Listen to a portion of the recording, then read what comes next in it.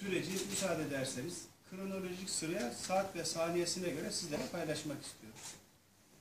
Cumhurbaşkanımızın Ordu'ya gelişi Büyükşehir Belediyesi'nin ve valiliğimizin açılış programı çerçevesinde idi.